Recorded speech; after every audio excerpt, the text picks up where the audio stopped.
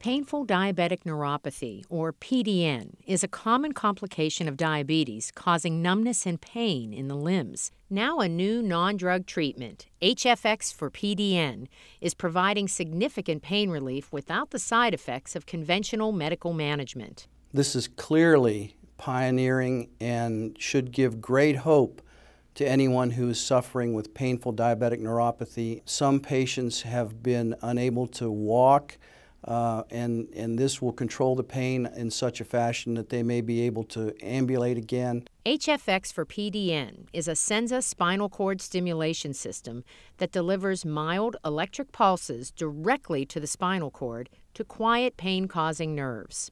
So, electrical current, when applied to the spinal cord, turns on neurons that block pain and turns off the neurons that transmit pain this company believes so much in this technology that they went out and did the science necessary to get FDA approval for this.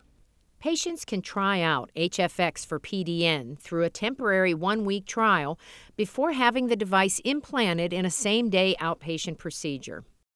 The reason that we were selected to be the first in the region to pioneer this new technology uh, for this diagnosis is because of the integrated fashion in which we treat pain and because of our vast experience with implantable devices, more than most anyone in the area for sure. This is very specialized care offered only at the WVU Medicine Center for Integrative Pain Management. This is a program, this is not just a procedure.